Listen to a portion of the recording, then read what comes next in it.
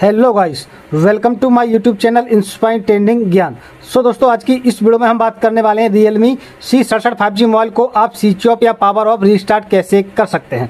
दोस्तों जब भी आप अपने पावर बटन से इस फ़ोन को स्विच ऑफ़ करते हैं तो आपके सामने कुछ ऐसा इंटरफेस आ जाता है।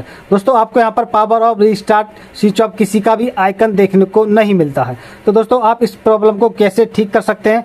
इसको ठीक करने के लिए दोस्तों आप यहाँ से बैक आ जाएँगे।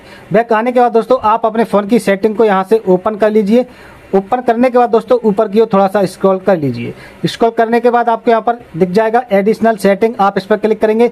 इस पर क्लिक करने पर आपको यहाँ पर ऊपर की थोड़ा सा स्क्रॉल कर करना है और पावर बटन पर क्लिक कर देना है।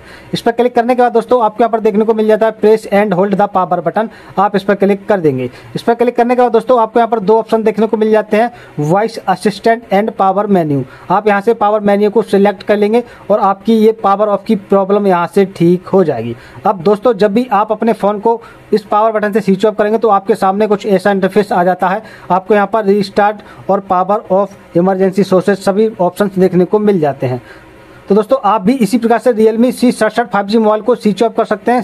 स्विच ऑफ़ की प्रॉब्लम को यहाँ से ठीक कर सकते हैं। दोस्तों, अगर वीडियो अच्छी लगे तो वीडियो को